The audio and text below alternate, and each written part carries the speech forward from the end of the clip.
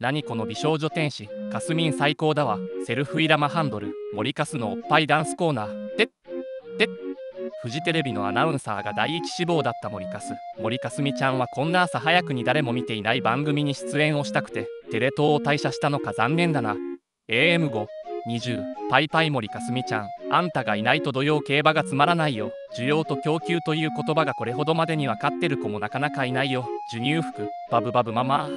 承認欲求はクソ競争やから今ぐらい揺れなくて忘れられたら普通にエログラビア仕事ぐらいするやろな。森かすみ文句なしのあたしこやった。筋力製造機やたしこの擬人化。わい結構この顔好きやわ。完璧じゃないところが逆にええ。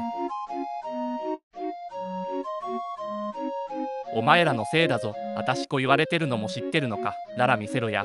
腰回りのスケベに組みせろや。